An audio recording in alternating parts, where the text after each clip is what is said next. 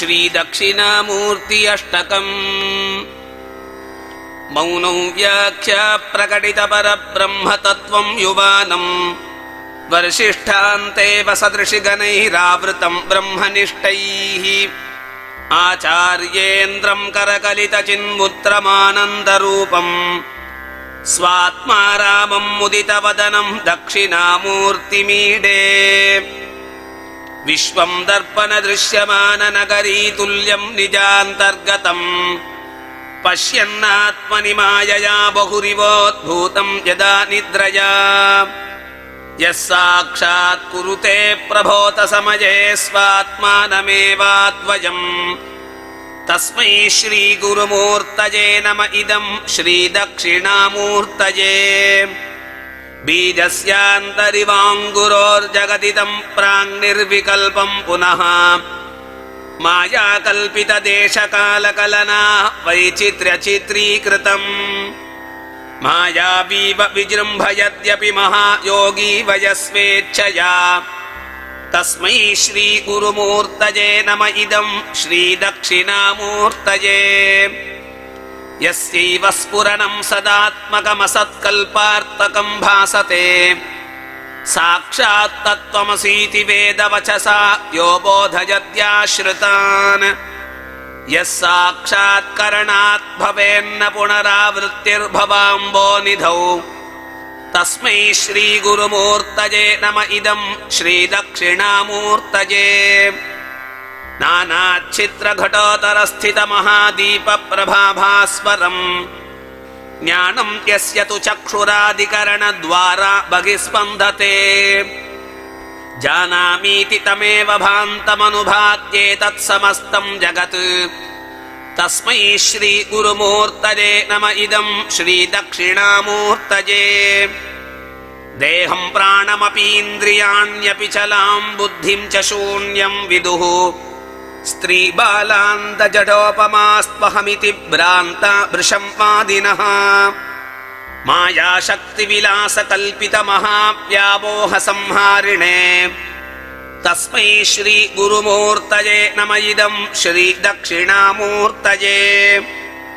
राहुग्रस्तदिवाकरेन्दुसदृशो मायासमाच्छादनात् सन्मात्रः करणोपसंहरणतो यो भूत् सुषुप्तः पुमान्। प्रागस्वाप्समिति प्रभोतसमये यः प्रत्यभिज्ञायते। तस्मै श्रीगुरुमूर्तये नम इदम् श्रीदक्षिणामूर्तये। बाल्यादिष्वपि जाग्रदादिषु तथा सर्वास्ववस्थास्वपि व्यावृत्तास्वनुवर्तमानमहमित्यन्तः स्फुरन्तम् सदा स्वात्मानम् प्रकटीकरोति भजताम् यो मुद्रया भद्रया। तस्मै श्रीगुरुमूर्तये नम इदम् श्रीदक्षिणामूर्तये। विश्वम् पश्यति कार्यकारणतया स्वस्वामि सम्बन्धतः। शिष्याचार्यतया तथैव पितृपुत्राध्यात्मना वेदतः स्वप्ने जाग्रति वा य एष पुरुषो माया परिभ्रामितः तस्मै श्रीगुरुमूर्तये नम इदम् श्रीदक्षिणामूर्तये। भूरम्भांस्यनो निलोम्बरमहर्णाथो हिमांशुः पुमान् इत्याभाति चराचरात्मकमिदम् यस्यैव मूर्त्यष्टकम्। नान्यत्किञ्चन विद्यते विमृशताम् यस्मात् परस्मात् विभोः तस्मै श्रीगुरुमूर्तये नम इदम् श्रीदक्षिणामूर्तये। सर्वात्मत्वमिति स्फुटीकृतमिदम् यस्मादमुष्मिम् स्तवे। तेनास्य श्रवणात् तदर्थमननात् ध्यानाच्च सङ्कीर्तनात्। सर्वात्मत्ममहाविभूतिसहितम् स्यादीश्वरत्वम् स्वतः।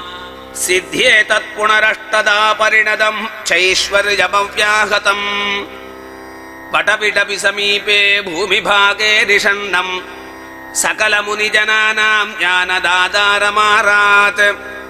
त्रिभुवनगुरुमीशम् दक्षिणामूर्तिदेवम्। जननमरणदुःखच्छेददक्षम् नमामि। चित्रम् पडतरोर्मूले वृद्धा शिष्या गुरुर्युवा।